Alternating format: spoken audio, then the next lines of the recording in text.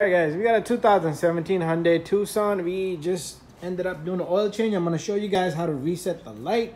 So make sure you do do your oil change. So what we're going to do first is we're going to close up this hood. Hood's got to be closed. Otherwise, you're going to get that message pop up in the screen. And make sure all the doors are closed. So we're going to get in the vehicle. And what we're going to do is we're going to pay attention to the screen right there. And we're going to be using this button here, up and down, and okay. Those are the three buttons we're going to be using. Well, this is considered as two buttons, up and down. But don't press the brake pedal. Just put an accessory here. Okay, let's wait. And low fuel message. That's okay. So what we're gonna do is we're gonna use this button here and that's gonna allow us to scroll on the top messages. So what we're gonna do is we're gonna go into, keep pressing this till you go to the wrench right there. You see the wrench?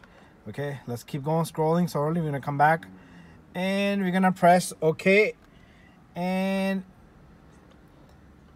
and we're gonna go up and down. We're gonna press up and down. So if you're in the tire pressure area, just try to find um, the the service light here and then press OK. Okay, we keep getting that message pop press OK.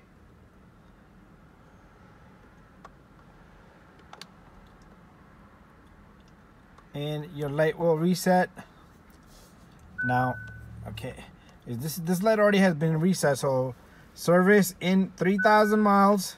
Oh, come on and 91 days. Okay, that's how simple it is. You're probably gonna have different numbers prior to that. And um, but once you press this OK, all you have to do is go there and then press OK, and the light will reset. And this customer has no oil in the car or gas in the car. And this is what's happening here. Anyways, make sure you do not, that's another thing, do not let your oil go down below, okay? Um, your gas, I'm sorry, your gas, okay? You should never let it go under a quarter tank. The pump is gonna suck up a whole bunch of dirt and stuff. Okay, just in case you wanna um, change the, you don't wanna see this light anymore, you can go press this button, go to the gear right there, and then you're gonna go down to service. We already there, service, press okay. You could uncheck this, okay, unchecking, and uh, it will ask you to confirm save settings down there if you get out of the if you go back now. But we want to keep it on so check it and then you can simply go back and that's it.